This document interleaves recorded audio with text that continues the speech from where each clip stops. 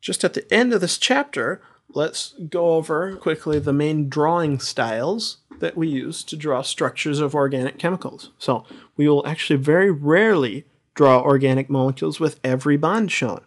We're going to be dealing with some big molecules, and it would take us longer to draw the whole molecule than it would to actually discuss it if we had to show every single hydrogen atom. So it's actually going to be very rare that we'll draw structures like that. So, first of all, condensed structures can be our first time saver right? Whereas if we had all these C's and H's, you can see it even gets to be uh, cumbersome. You don't really even have room for all of them around that carbon. So if we omit most of the lines, so if we just say CH3, right here is a CH3. Here's a carbon with three hydrogens. So CH3, CH2,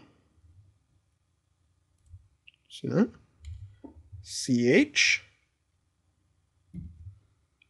Attached to it is a CH3 and another CH3. So just kind of crawl along the line saying what's attached to each carbon. Another way to save a little space here is that if we have identical groups that are bonded to a common atom, we can combine those together. So take a look. Here are two of those CH3 groups. There's one there and one there. Those two CH3 groups are both attached to the same CH. Right there. So, if you ever see groups combined together, that either means that they're bonded to a common atom, or if you have a whole big long chain, something like uh, yes, hexane, CH3, CH2, CH2, CH2, CH2. So I've got a CH3. I've got four CH2s and then a CH3 on the end. That's hexane. I can abbreviate that by saying CH3, CH2, and there are four of them repeating, and then CH3. So CH3, parentheses CH2, parentheses 4, CH3. We cannot combine the CH3s together because they're not connected. They're not attached. They're on opposite ends of the molecule. So common mistake would be to say two CH3s, but you can only do that when they're actually hooked up together. All of these are attached together, so we combine them, right? These two CH3s in the compound above are both attached to a common atom, so they can be combined together.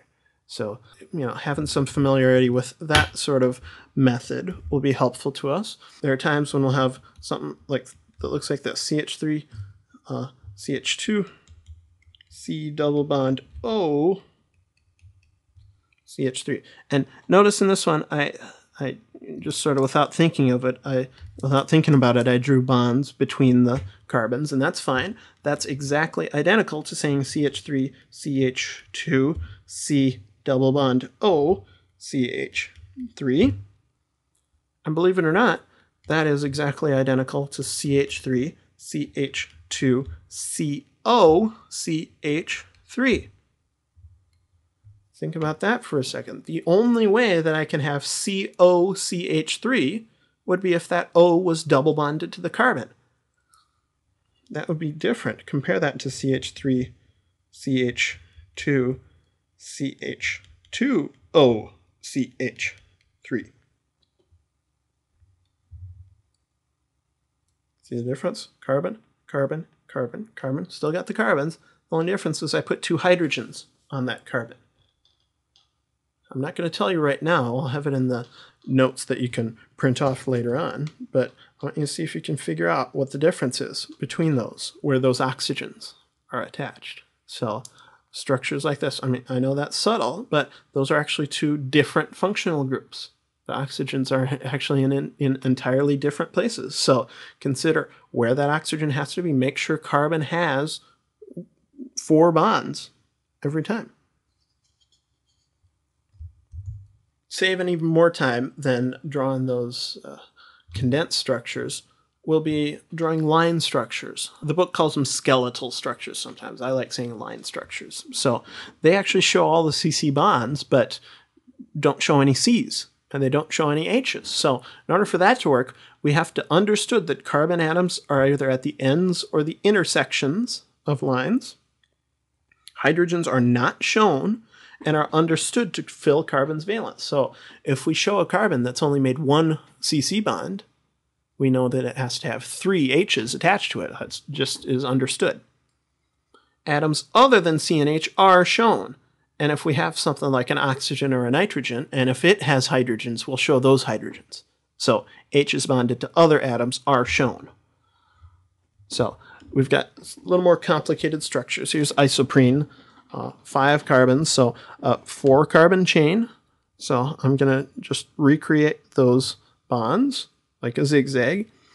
Double bond between carbon 1 and 2. Double bond between carbon 1 and 4. So I've just made a zigzag and added lines for the double bonds. And then we have one carbon coming off of carbon 2. It's a methyl group. That's it. So much simpler than drawing out all of the C's and H's. So we're going to make really good use of these line structures quite a bit. Methyl cyclohexane, I've got a six-membered ring of carbons. Six-membered rings will just get drawn as a hexagon because we understood that carbons are at each of the, uh, the points where the lines meet. I have a carbon with three hydrogens, a CH3 group attached to one of the carbons on the ring. So that's that same group there. Here's a carbon at the end of that line, and that's it. Uh, here's phenol, six-membered ring with alternating double bonds through it. Saw this in lab. This is a benzene ring. So a hexagon with alternating double bonds, and then we have to show the OH group. Remember, I show that H because it's attached to something other than carbon. I always show the O as well. So be very careful. A common mistake that students do when they're beginning is to think that the end of this line is actually a carbon, when in fact that's the bond between the carbon and the oxygen. So when you have an oxygen, the line that's attached to it is going from the oxygen to the carbon that it's attached to. So don't try to slip in another carbon in there where it doesn't belong.